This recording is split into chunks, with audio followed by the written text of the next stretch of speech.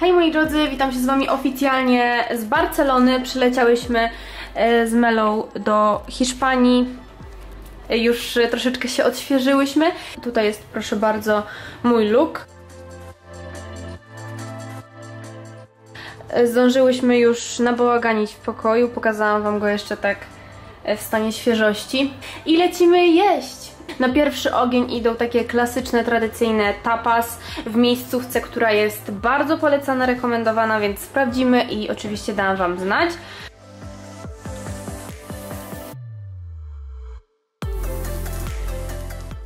Zdecydowałyśmy się odwiedzić restaurację Vinitus, w której jest naprawdę duży wybór. My zdecydowałyśmy się na tapas, ośmiornicę, patatas bravas, kalmary w tempurze i tradycyjny hiszpański makaron, który porównałabym do takiej ich wersji pad. Ciężko mi ten smak jakkolwiek inaczej opisać.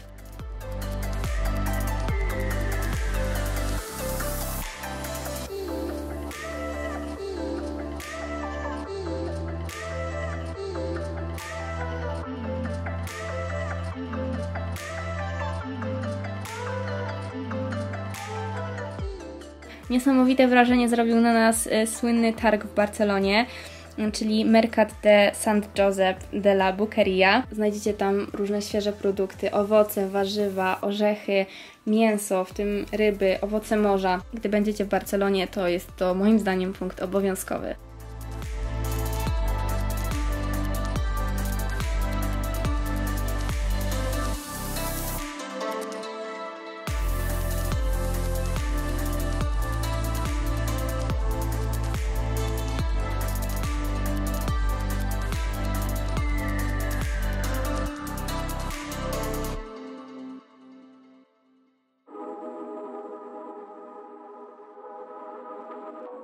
Na kolację wybrałyśmy się do wegetariańskiej restauracji Honest Greens. Zjadłyśmy buratę z pomidorami i pesto, frytki z batatów i taki bowl z humusem i falafelami. W Barcelonie jest jeden z największych i najpiękniejszych sklepów Zara. Ma łącznie trzy piętra i wygląda niemalże jak jakaś luksusowa galeria. Dzisiaj wybrałyśmy się na śniadanko do takiej znanej e, miejscówki, która jest polecana, więc przetestujemy. Zamówiliśmy sobie e, dwa dania na pół, na Tak. słodko. Dzisiaj będzie w ogóle bardzo słodko, bo jeszcze mamy w planach odwiedzić taki, taką kawiarnię, piekarnię i spróbować takiego klasycznego sernika baskijskiego, który e, widziałyśmy gdzieś tam na Instagramie, także... Najgorsze jest to, że jak, jak się ma dużo miejscówek do odwiedzenia, a mało dni i trzeba to jakoś rozplanować tak, żeby się ani nie Tak, dosypić, ani bo my mamy dzisiaj taki pełny dzień. Jutro zobaczycie, co będziemy robić, bo mm, nie będziemy spędzać tego dnia tak typowo w Barcelonie. Wieczór tylko. Jedynie wieczór. E, No a następnego dnia już wracamy, więc zdążymy jedynie pójść na jakieś śniadanko i szybki spacer. E, Także mm, zaraz Wam pokażę jedzonko i Zapraszamy, Zapraszamy. na kolejny dzień. ja versus Mela. Matcha, iced matcha, najlepsza. Pyszna. Serio? Pokaż. Serio. Ty też czujesz? Ja myślałam, że to będzie kolejny gniot, bo ogólnie ciężko jest zrobić dobrą maczę. Co to jest? To jest zarąbiste. Nigdy to jest jak mochi. Oni mają tu... Dosłownie jak mochi. Czekaj. Serio, najlepsza macza kupiłam.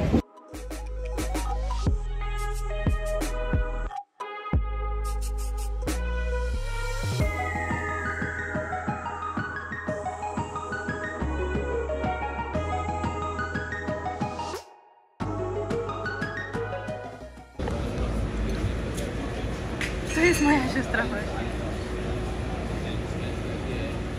Nic też nie wiem.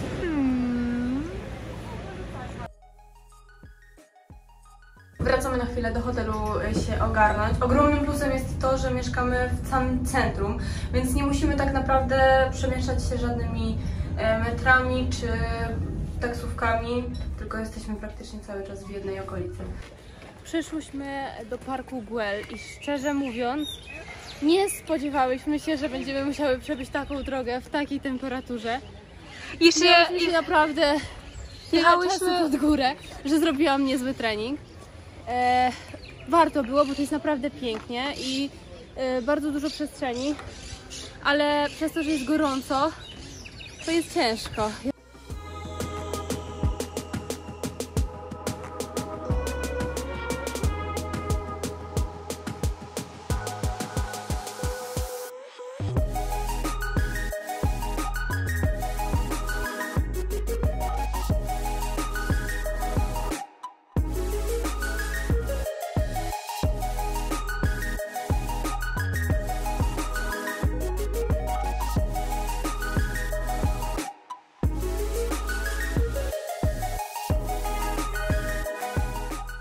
Kolejną wartą uwagi restauracją jest La Flauta, w której zjadłyśmy ponownie tapas, tym razem grillowane owoce morza, burate z pomidorami i grzanki, a potem na deser churros.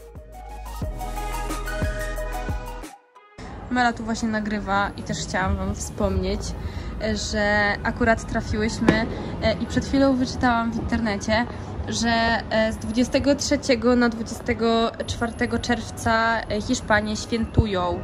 I uwaga, uwaga, zastanawiałam się o co chodzi z takim głośnym strzelaniem na ulicach.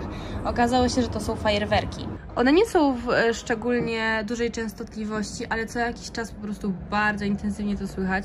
Tu mamy też ulicę, oj, mamy też ulicę, więc o, teraz było tak, jest e, głośno i myślę, że około północy może być naprawdę, naprawdę głośno, więc dobrze, że e, możemy jednak zamknąć to okno i e, korzystać z klimatyzacji. Naura.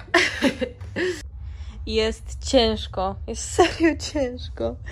No, tego nie słychać, ale tak głośno gra muzyka, słychać takie basy. Patrzcie, jakie mamy dzisiaj stylówki, takie same. Zobaczcie, mamy takie seciki. Już Wam pokazywałam ten żółty set w którymś z odcinków. On tak fajnie leży, jest mega wygodny.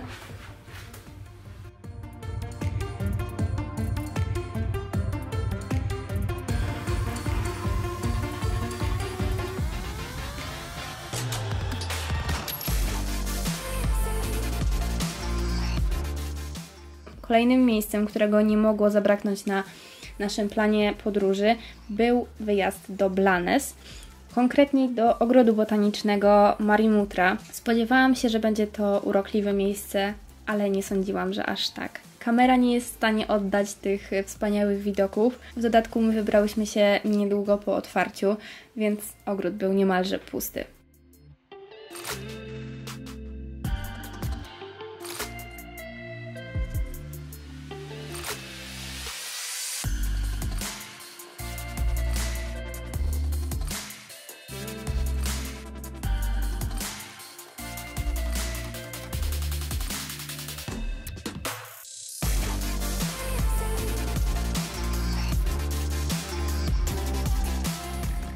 Jestem tak niesamowicie wdzięczna, że mam możliwość patrzenia na taki widok.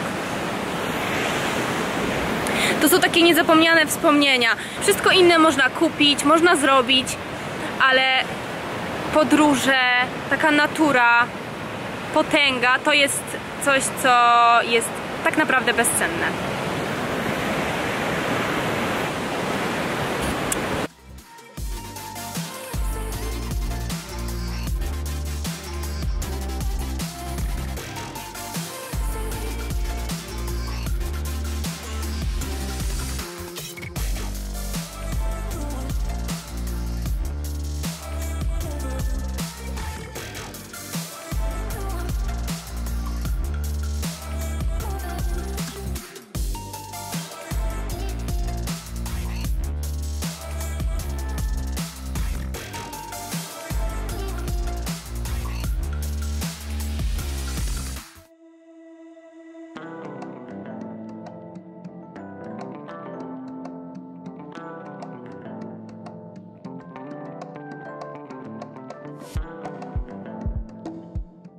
Ostatnią kolację w Barcelonie zjadłyśmy w restauracji Belbo dos Besos, która również jest godna polecenia.